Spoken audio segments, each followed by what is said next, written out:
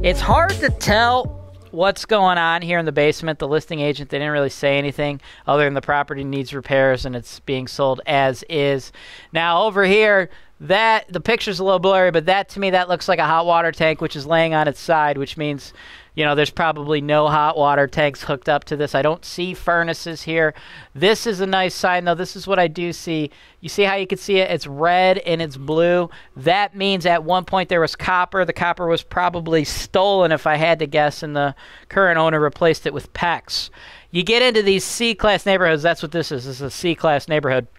When they go vacant, uh yeah, guys, folks, they're going to come in, they're going to steal that copper. Um, but what we do is when we replace the plumbing line, we don't put copper in there again because you can't scrap plastic, you can't scrap PEX. So it's nice that there's already some PEX.